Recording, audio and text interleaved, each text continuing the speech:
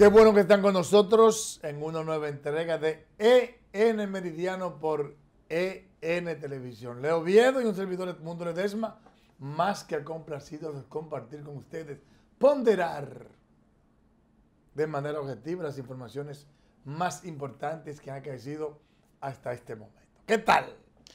Muy buenas tardes y digamos que un día antes, porque siempre vengo jueves y viernes. Así es, el general hoy se tomó el día libre.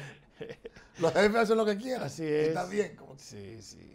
Eh, bien, entonces, como siempre, bienvenidos sean ustedes a este espacio, este eh, encuentro del mediodía, que como siempre tiene los temas fundamentales de las últimas 24 horas y las que se proyectan y es evidente ¿no? que para nosotros que la gente que aún no ha almorzado, eh, y lo hará en unos instantes, le deseamos feliz encuentro. Y aquí les acompañamos todos para este momento de la vida del día. Bueno, sigue el tema de la delincuencia y la violencia. Eh, poniendo en ascuas a la sociedad dominicana. Y en estos días hubo un lío del carajo, una discoteca. Murieron gente, pero también se ve a guagüeros peleando a machetazos. Mercaderes. ¿Eh? Mercaderes también. no, no cabe la menor duda de que algo está pasando en la sociedad dominicana que definitivamente está afectando la cotidianidad. La gente se está poniendo violenta. Pero aparte de eso, la delincuencia increciendo. Y eso no está bien. ¿Qué usted cree que vamos a hacer? Dígame usted, porque ya yo me siento impotente. Bueno, ya no sé qué decir. Hay una realidad que excede al Ministerio de Interior y Policía. Es un asunto gubernamental y social porque las recetas y soluciones de parte del Ministerio de Interior y Policía no parecen las viables. Hoy hay el reporte de que en San Francisco de Macorís, eh, uno de los famosos luchadores de los tiempos ya venenos. el Bronco. Sí, el Bronco fue asesinado. También un chofer, una persona que trabajaba para el Ministerio Público en Santiago y vinculado a Rafael, fue asesinado para atracarlo en este caso. Se han dado hechos como en, en Higüey, que un joven de 17 años fue asesinado. En varios puntos del país se han producido realidades como estas. Entonces, como para preocuparse porque increciendo se publican en las redes varios incidentes de atracos a gente que en una calle o un camino abierto, pero en horas del día pasan tres y cuatro motoristas y van y lo asaltan y se retiran. Hay imágenes de eso. Mira, vamos a propósito de esta situación. Tú sabes que varios diputados de diferentes bancadas llamaron a que se convoque una especie como de minicumbre para ver qué decisiones se van a tomar para poder enfrentar con eficiencia el, incremento de la delincuencia, porque la, verdad es que nuestro querido amigo Chu no ha dado pie con bola. Él no sabe de eso, lo han puesto ahí y el, pobre ha estado improvisando, pero no lo ha ido bien. Vamos a ver este reportaje. Los diputados entienden que el tema de la delincuencia afecta a todos los dominicanos y que se le ha salido de la mano a las autoridades nacionales necesita de un gran encuentro del liderazgo del país, donde todo el mundo se compromete y todo el mundo aporte. El problema es que lo quiere hacer un sector disminuido, el gobierno solo no puede con eso. Tiene que convocar a un encuentro de los sectores que de alguna manera inciden en, la, en el desenvolvimiento de la vida del pueblo dominicano. Es que nunca se ha politizado. Lo que hace falta es quien dirija la seguridad ciudadana. No se va a curar porque no está en la fiebre, la, fiebre no está en la sábana, no se va a curar con 14 reformas, ni con la reforma de la policía, ni diciendo cosas por decirla. Es planteando con un plan de gobierno qué es lo que se quiere para beneficiar al país. Otros diputados entienden que la situación de la delincuencia debe ser enfrentada por las autoridades. Cada día amanece más incrementado los asesinatos, los atracos en nuestro país y esto hay que ponerle un paro. Y entendiendo que pedir la cabeza de nuestro amigo Chu no es politizar, simple y llanamente el pueblo está desesperado y necesita respuesta y si alguien no te la da, pues entonces tenemos que usar plan A, plan B, plan C hasta que lleguemos a la solución. Conversando con los jefes policiales de nuestra demarcación para que puedan actuar, para que el índice de delincuencia pueda bajar al máximo. Ese es nuestro rol. La sensación de inseguridad se apodera cada día más de la sociedad dominicana. Mira, ahí esa última imagen que vimos, y los muchachos que puedan que nos ayuden con eso, eh, eh, fue, eso se ocurrió en la Estrella Sadalá, que es una de las avenidas más importantes de Santiago, la segunda provincia en importancia de nuestro país. El Distrito Nacional, luego Santiago. Y es una de las avenidas, reitero, más importantes y más transitadas, a plena luz del día. Ahora hay una nueva modalidad que ellos van como manada, en manada, porque ahí fueron cuatro motores, ocho personas. ¿Eh? mírenlo ahí. Interceptaron al. Miren cómo van apareciendo. Le hacen un cerco, como una manada de lobos o de leones. ¿Eh? armados. Fíjense cómo es ese último, miren, ni siquiera se, ni siquiera, mira, fíjense cómo ni siquiera se ponen un casco o algo para protegerse, porque ya le han perdido totalmente el temor a las autoridades. Miren, eso, el mismo, el mismo método, manada, ahora eso es en Arroyo Hondo. Ustedes ven, en Santiago y en Arroyo Hondo. Hay una nueva modalidad. Ahora como quien dice, andamos en manada, andamos en grupo y si se aparece la policía le vamos a entrar también. Yo no sé cuál es el mensaje del porqué de esa nueva modalidad.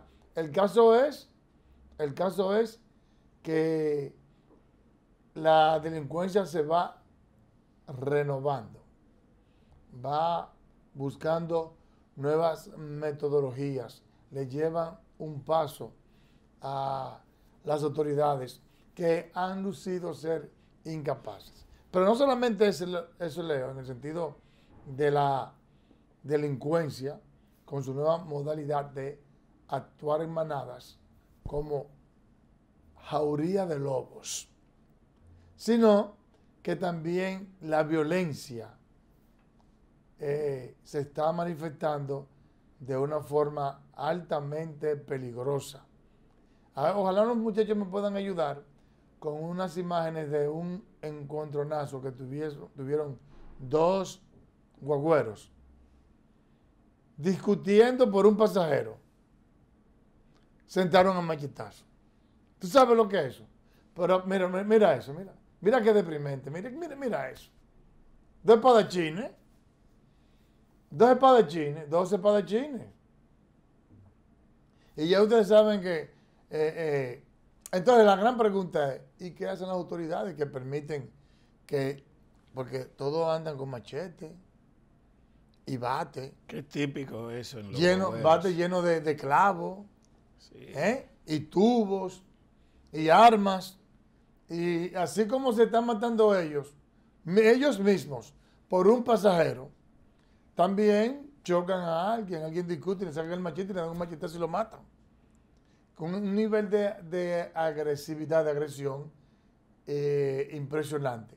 Pero la pregunta es, ¿y las autoridades por qué permiten que esa gente ande con machetes y ande con armas blancas o armas de fuego? Y lo ponen a alegar ignorancia porque eh, el senador ¿cómo Antonio Marte ha denunciado eso muchísimas veces. Pero a pesar de la denuncia, ahí está la situación. Es muy lamentable lo que está pasando en este país. A ese relato tuyo le falta dos hechos también eh, publicados ayer en las redes. Uno fue de un enfrentamiento de dos mercaderes, entre ellos un haitiano y un dominicano. Y hay que ver eh, la falta de control de la gente, porque tenían esa discusión, Y hay que decir que el dominicano se confió en extremo. Hubo un momento que el otro ciudadano estaba prácticamente aislado y el más fuerte, el gordo, siguió insistiendo y con machete en la mano, como si eso fuera un palito para prácticas que hacen la gente que está en funciones deportivas. Y al final, cuando se vio muy asediado el haitiano, reaccionó y le dio unas heridas que ojalá no sean finales. Eh, en definitiva, fue una, situación anormal. Pero anoche también en la Churchill, eh, conduciendo vía contraria, chocaron dos vehículos. Y entonces uno de ellos se sentía, de los del grupo, que parece que estaban los dos en situaciones de, borrachera. Eh, y uno reclamaba y de repente el otro se fugó y dejó al compañero. En, fin, elementos de la crisis. Hoy hay la, la versión de que el ministro de Interior y Policía va a tener una reunión, pero es evidente que aquí tenemos fuera de control. está el reporte para fines de hoy de ese del Bronco que fue asesinado, de tantos balazos. Y se dice que él era de los que en aquellos tiempos ya Veneno era parte de ese esa diversión que tenía la República. No, no, era tremendo el Bronco. Y él oh, tenía un, centro de entrenamiento. Los Broncos eran dos, los Broncos. Bueno, pues él tenía un centro de entrenamiento y anoche fue asesinado. Y hoy también está el reporte, tal y como decíamos al principio, de un chofer, miembro del Ministerio Público, que tiene responsabilidades ahí en Rafael, pero que fue asesinado. Más lo que se produjo el domingo de la cantidad de jóvenes que fueron asesinados y todos los hechos que se han venido produciendo con el abogado que fue asesinado, que al día de hoy no hay una narración, no hay un relato, ni ningún informe de parte del Ministerio Público ni de la policía sobre ese hombre que fue asesinado en horas de la mañana cuando retiraba el periódico y con todos los señalamientos que se han producido en Santiago. Y después de eso, aunque ya están ahí detenidos, el tema de la famosa patrona y que se habla que hubo una actividad de sicariato y finalmente el caso del folclorista dominicano, artista que tampoco se han producido grandes resultados. Hay la sospecha de un motorista que estuvo, pero es evidente que no se han resuelto estos casos. Y lo cierto es que dentro de ese plan para enfrentar violencia por un lado y la delincuencia también, eh, la actual gestión que tenía propuesta o con Villani, que después eh, acuerdo con colombianos, finalmente con la representación española que está aquí, el señor José Vila. Y en definitiva, el, pobre Chu que no ha dado armas eh, a tomar porque evidentemente esa no es ni su formación, ni el equipo que él tiene ahí, porque nosotros tenemos, hay gente que le está apoyando, gente dominicana y muy versada en el tema de la seguridad, que lo eran hasta que no están ocupando los puestos. De manera que estamos medio de esta realidad frente a una ola de improvisación y desatención y una inseguridad. Tenemos un amigo que era muy dinámico en los medios de comunicación hablando de seguridad. Ahora ha sido nombrado y no vemos que ha pasado nada importante. Incluso está callado. Miren, pero así como dice lo malo, es justo decir lo bueno. Nosotros nos hemos quejado de la incapacidad mostrada por el CHU y también la incapacidad mostrada por la policía. Especialmente hemos atacado de manera particular al jefe de la policía. Sin embargo, la semana pasada, yo no sé si, si, yo, si tú llegaste a ver ese video, eh, Leo, yo hice una denuncia de que al joven Julio Vicioso, que vive en la ciudad colonial, bueno, incluso aquí me, me acaba de llegar la foto. Se la voy a enviar a los muchachos para ver cómo, cómo, mira, la casualidad, ahora mismo me la enviaron. Hoy Diario Libre publicó esa información. ¿Cómo está él contento? ¿Encontraron su vehículo? Encontraron el, vehículo. Ay, qué bueno. Eh, Diario Libre publicó esa información hoy también. Ok. Entonces, yo hice la, prima de ella, la prima de ella, ahí le envié la foto a, a producción para ver si no la pueden poner. La semana pasada, el viernes pasado, su prima, Elizabeth Prince, una amiga de infancia, ahí está la foto. Ese es el joven Julio Vicioso. Esa jipeta que está a su espalda, se la habían robado al frente de su casa en horas de la madrugada. Él vive en la ciudad colonial y él se dedica a, al arreglo de aire acondicionado, refrigerador y asuntos de esos eléctricos.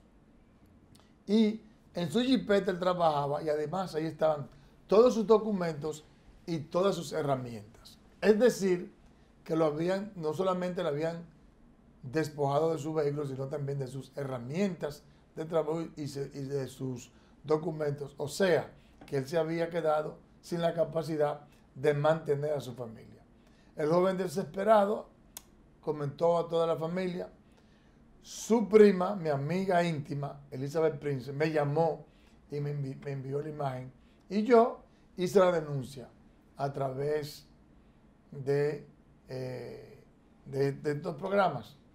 Y bueno, gracias a Dios, eh, no, no, vamos a decir que fue porque yo hice la denuncia, pero lo importante es que eh, apareció el vehículo con todos sus documentos, ahí se ve él feliz, contento, eh, porque pudo conseguir su vehículo intacto, con sus herramientas y toda su documentación. Así que es de rigor y es mi responsabilidad, yo que he criticado tanto a la Policía Nacional en el último año, digamos, reconocer que ahora hicieron una gran labor y que precisamente eso es lo que nosotros esperamos de las autoridades, que puedan darle respuestas como hicieron ahora con Julio Vicioso.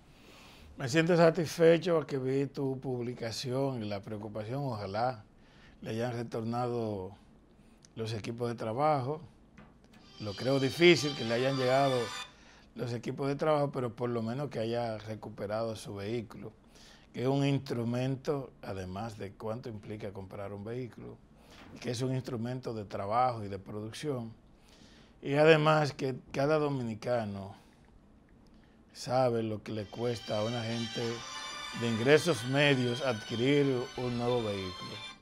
Por otro lado, hay que saludar la decisión gubernamental de parte del, gobierno de responderle con un estímulo a la gente que ha perdido sus vehículos, que sus vehículos han tenido serias, serios daños que prácticamente son irrecuperables, que tenían por lo menos su seguro, aunque no el seguro que le pudiera fundamentar la respuesta, la compensación.